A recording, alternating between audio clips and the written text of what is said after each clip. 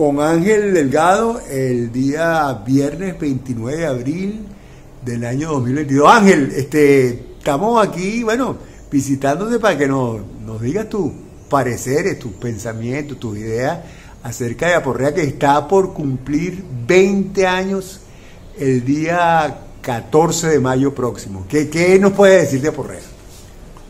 Bueno, primero que todo, Aporrea llegó en un momento preciso que se necesitaba que hubiese algo así. Porque, ¿qué, qué pasa con Aporrea? Esa es la forma de la, expresión de la opinión del pueblo. pues. La gente que expresa su opinión está ahí para que la gente lo lea. Me, me pareció excelente la idea cuando comenzó y ahorita, bueno, te puedo decir que estoy totalmente de acuerdo con su existencia. Es algo que se necesita, la expresión se necesita, sobre todo esa eh, esos distintos puntos de vista que se expresan, pero todo dirigido hacia lo mismo, hacia lo que es la revolución. Gente que tiene mucho tiempo en estas cosas y gente que tenemos menos tiempo en estas cosas.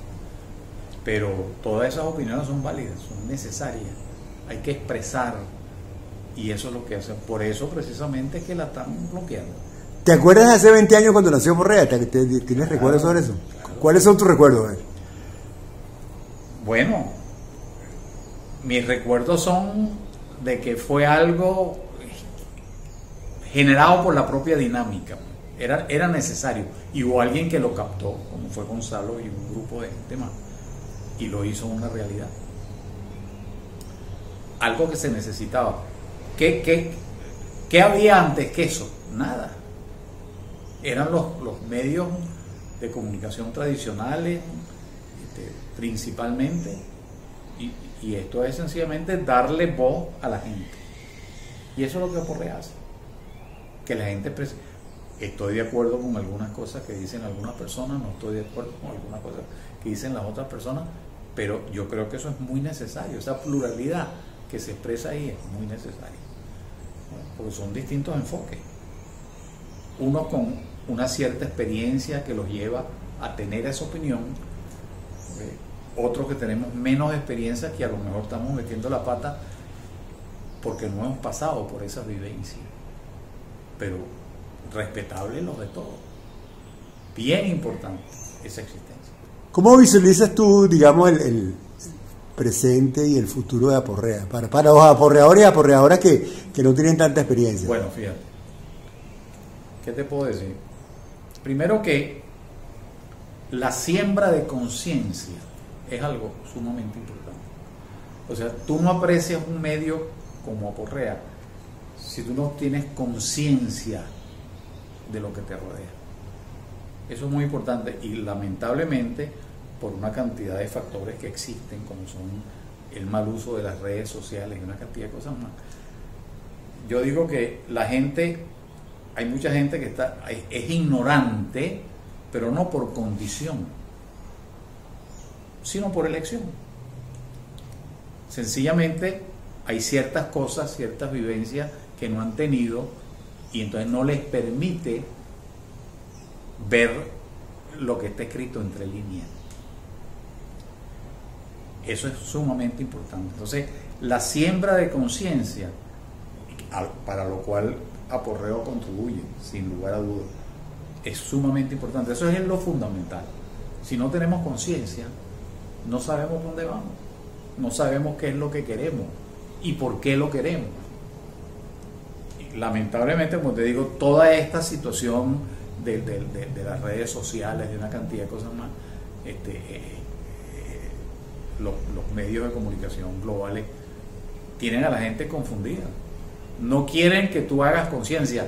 La industria del entretenimiento. ¿Cuál es la finalidad de la industria del entretenimiento? Precisamente entretenerte, que no te des cuenta de lo que está pasando a tu alrededor. Y eso, eso tiene un efecto. eh, en estos días me mandó un, un- un amigo un, un- artículo este, sobre un libro que escribió un tipo hace como 60 años y lamentablemente no lo vi muy por encima, pero lo puedo comentar. Y él te está diciendo, compadre, te están manipulando. Mucha gente estudiosa se presta a esas cosas. Gente muy informada se presta a esas cosas.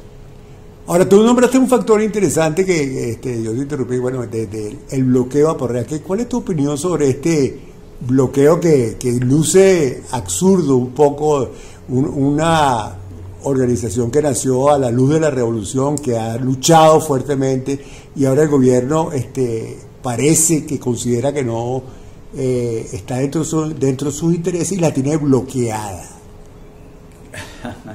bueno, desde el punto de vista, si yo, si yo me pongo en el lugar de ellos, tienen mucha razón, porque les hace mucho daño. Eso es precisamente el problema. Si, si, no, les hiciera daño, no la bloquearan.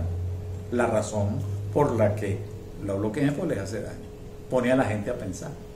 Ese, es el gran problema. Por eso es que por está bloqueada. A ellos no les interesa y no lo esconden, que es lo más eh, eso está a la vista de todo el mundo. Todo el mundo que quiere tener acceso por rey no puede, se da cuenta inmediatamente. Eso no es una cuestión que tiene que. Oh, qué sorpresa, no hay tal, pues. Y el problema es ese. Ellos no quieren voces críticas. Para ellos las voces críticas son extremadamente peligrosas, como, como para todas las personas que piensan de la misma forma. Yo te voy a decir una cosa. El gran problema que hay es que una vez que tú coges por ese camino de que muchos de los personeros del gobierno han eso no tiene para atrás. Sigo que se devuelve ese nunca. No pueden, no tienen forma ni que quieran de retroceder. Ya se ensuciaron. Ya representan intereses que no son los intereses del pueblo venezolano. Entonces, muy sencillo. El soberano, que somos nosotros, llegó el momento, hermano, y no solamente a nivel de Venezuela, llegó el momento a nivel mundial. Mira lo que está pasando a nuestro alrededor una potencia como los Estados Unidos tiene al mundo al borde de la tercera guerra mundial. ¿Por qué? Porque ellos no quieren ser segundos ni terceros, ellos siempre quieren ser primeros. Y nosotros los ciudadanos, no solamente los que no vivimos en Estados Unidos, los que viven en Estados Unidos, vamos a permitir que nos metan en una guerra nuclear. Ahí está. No solamente lo de la guerra nuclear, porque hay una cantidad de cosas más, pero te digo, ahí está el cambio climático Ahí lo tienes, pues. O sea, hemos permitido, porque la culpa es nuestra, hemos permitido que eso llegue a esa situación. No podemos, ya está, ya tenemos que tomar acción. Y el que se nos atraviese por el camino, como dicen en buen criollo, no lo llevemos en los cachos. No hay otra. ¿Va a ser algo sin sangre? No. Porque ellos no van a entregar lo que tienen. Vamos a tener que quitárselo. Ahora, en el caso de Aporrea, si, digamos, en una situación teórica, pues, si tú tuvieses la posibilidad de hablar directamente con, con la cabeza del Ejecutivo, que es Nicolás Maduro, ¿qué le dirías tú este, al presidente Maduro con respecto al bloqueo de Aporrea y, y al manejo de la libertad de expresión en Venezuela? Bueno, mira, es obvio, ¿no? Yo le digo, hermano, ¿cómo es eso que usted habla de lo que pasa en otros países, en otras latitudes, y se rasga las vestiduras por lo que hacen y cómo manejan la libertad de expresión? Y eso es lo que usted está haciendo. Ahora, yo te digo una cosa, yo no quiero hablar con Maduro, yo quiero hablar con el pueblo venezolano. Maduro no es el dueño de este país ni el gobierno es el dueño de este país, somos nosotros. Nosotros somos el soberano. Artículo 5 de la Constitución de la República Bolivariana de Venezuela. Nosotros somos el soberano, somos los dueños de este país. No es el gobierno, no son los presidentes, ni los gobernadores, ni los alcaldes, ni los jefes civiles, ni para ustedes contar. Somos nosotros.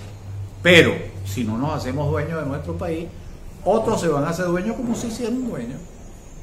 Nosotros firmamos un cheque en blanco. No podemos firmar cheque en blanco. Ahora, tenemos que prepararnos, organizarnos, informarnos y no meter balas en el arma del enemigo. Tenemos que actuar con mucho cuidado. Pero esto no es lo que más nos favorece a nosotros. Entonces no es, no es, no es maduro. Somos nosotros los que tenemos que dar la cara. Maduro no, olvídalo. Él ya tiene, él ya escogió su camino.